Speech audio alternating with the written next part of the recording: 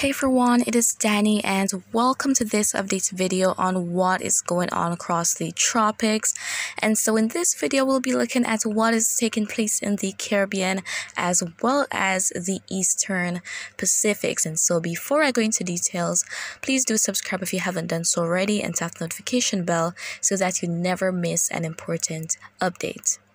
Okay, and so we're going to be starting out with the infrared view of the region so we can see a part of the Eastern Pacific as well as the Western Atlantic on this map here. And so in the Caribbean, we're mainly seeing the passage of clouds, a few of those blue and green spots noted here and there indicating areas of a bit of convection, but we can see that over in the Eastern Pacific, uh, there is an abundance of convective activity taking place.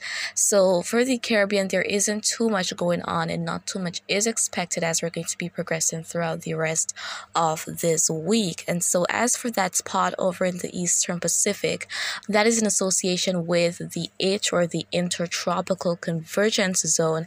And we also have that surface trough, and that is indicated by that orange broken line. So, uh, where we usually have troughs or low pressure areas, there is usually activity in association with that. So, low pressure areas accompanies uh, convective activity, meanwhile, high pressure areas don't. So uh, that's the reason we're seeing so much activity uh, within that region right now. And also, if we take a look at the sea surface temperature maps, so as of the latest uh, analysis, we can see here that there is that 29 degrees Celsius isotherm being seen within that region. So, uh, very warm sea surface temperatures at this time over in the Pacific. And as I said, said in previous videos, this year, in terms of the ENSO region, is uh, potentially going to be an El Nino year as we progress into the latter months because uh, of the current pattern of it. So there's a, we're in the neutral phase right now, and so there's a chance,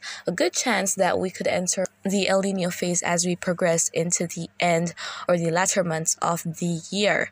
So what that means is uh, sea surface temperatures over in the eastern Pacific would be above average, meanwhile, maybe a bit below average for the North Atlantic. So we could look for below average tropical cyclone activity in that case. But of course, nothing is absolutely guaranteed, and we're still some time away from the official start of the season. So only time will tell what is really going to be happening. But as of now, we have that area of shower and thunderstorm activity uh, of the Central American territories. And so, in terms of the total accumulated precipitation, so this is between now and Sunday. So, we can see here that we have the different colors that represent how much rainfall is expected in inches. And uh, we see that the greens are well under an inch of rainfall. Uh, as we progress to the lighter blue shades, we go up to 1.75 inch.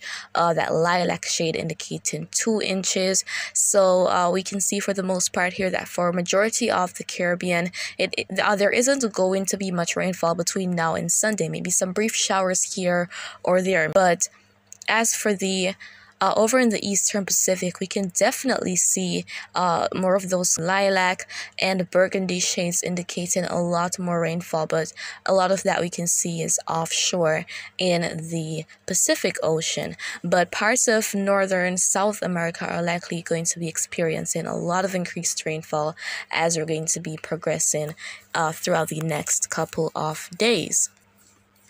And as for the Caribbean, uh, within the next month or two, we're going to be entering that rainy season. Uh, and usually for southern Caribbean countries such as Trinidad and Tobago, it's usually the itch, the intertropical convergence zone, that helps to result in the rainy season. So as we progress to the summer months, it usually affects those areas. It increases in latitude from where it was earlier in the year. And of course, during these summer months, we have an overall increase in sea surface temperatures, which helps to induce more shower and thunderstorm activity as well. So that is really it for this update video, guys. And if you have any questions, you can leave them down in the comments and you can also share your thoughts there. And so remember to always be weatherwise.